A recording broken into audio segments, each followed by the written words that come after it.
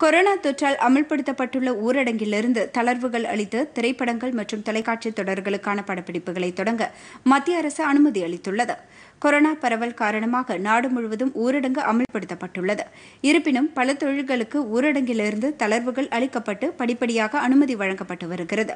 இதேபோல் திரைப்பட படப்பிடிப்புகள் தொடங்க அனுமதி அளிக்க வேண்டும் என்று திரைத்துறையைச் சேர்ந்த பல்வேறு தரப்பினர் வலியுறுத்தி வந்தனர்.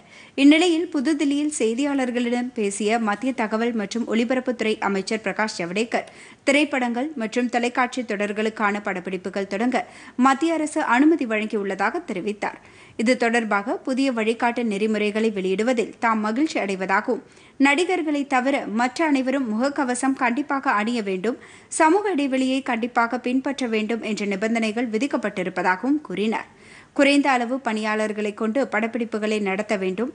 படப்பிடிப்பு தளங்களில் ஆறு அடி சமூக இடைவெளியை கடைபிடிக்க வேண்டும். கேமரா முன்பு நடிப்பவர்களை தவிர மற்ற அனைவரும் முகக்கவசம் அணிய வேண்டும். அடிக்கடி கைகளை கழுவ வேண்டும் போன்ற நிபந்தனைகள் விதிக்கப்பட்டிருப்பதாகவும் அவர் குறிப்பிட்டார். படப்பிடிப்பின் போது பார்வையாளர்களையும் ரசிகர்களை அனுமதிக்கக்கூடாது ஒப்பனை கலைஞர்கள் அனைவரும் கட்டாயம் கவச உடை அணிய வேண்டும். ஆடைகள் ஒப்பனை பொருட்களை பகிர்ந்து கொள்ளக்கூடாது. வெளிப்புற படப்பிடிப்புகளின் போது கூட்டம் கூடாமல் இருப்பதை உறுதி செய்ய வேண்டும் போன்ற நிபந்தனைகள் விதிக்கப்பட்டிருப்பதாகவும் அமைச்சர் ஜவடேகர் அப்போது குறிப்பிட்டார். பொதிகை செய்திகளை யூடியூபில் தமிழ் நியூஸ் தூர்தர்ஷன் என்ற சேனலிலும் முகநூலில் டிடி பொதிகை நியூஸ் என்ற பக்கத்திலும் ட்விட்டரில் டிடி நியூஸ் சென்னை என்ற பக்கத்திலும் இன்ஸ்டாகிராமில் டிடி பொதிகை நியூஸ் என்ற பக்கத்திலும் காணலாம். மேலும் உங்கள் கருத்துக்களை Podhigai DD news at Gmail dot com என்ற மின்னஞ்சலில் தெரிவிக்கலாம்.